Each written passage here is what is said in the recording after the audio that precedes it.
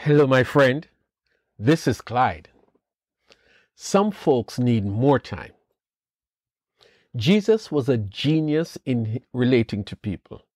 Sometimes he would talk to large crowds and get great results, and at other times he would resort to a smaller group in an intimate setting and he would be equally effective there.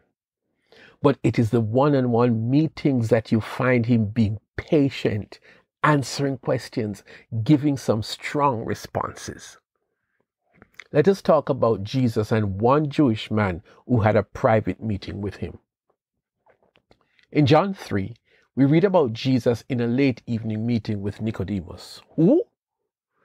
Nicodemus. He was a Pharisee, a man who followed all the religious details.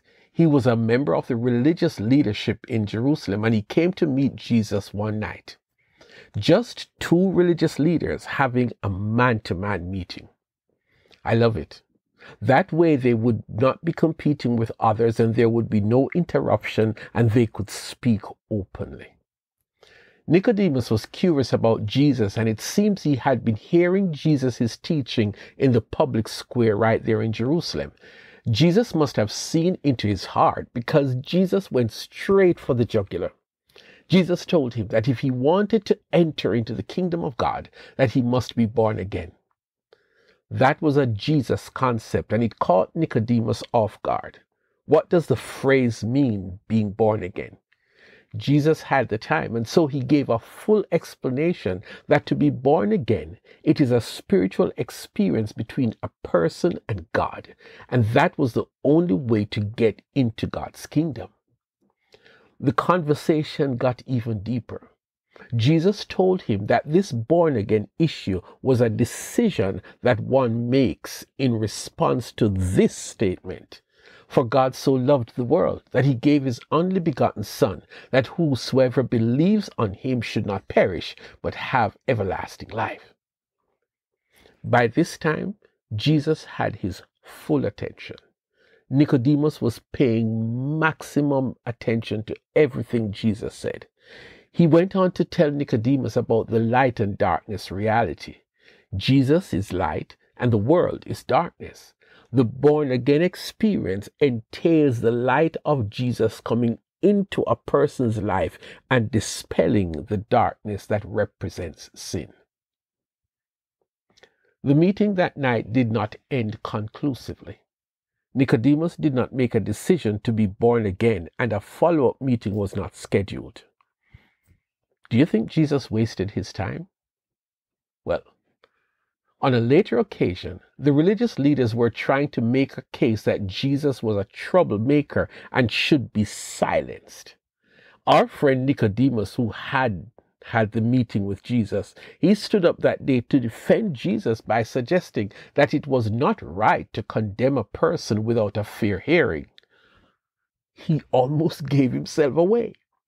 That conversation, however, did not end well either because his colleagues accused Nicodemus as be- of behaving as if he had bought into the Jesus hype. What do you think is going on here?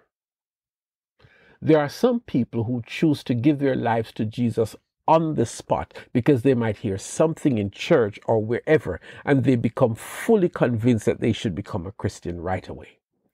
But there are others who have questions and they do research and they talk to folks and they give it a lot of thought. Either approach makes sense except the guy who does the second thing, you don't know when you will die. So if you do it the Nicodemus way, you might run out of time before you've made your decision. Anyway, up until that second time, we never heard that Nicodemus became a Jesus follower.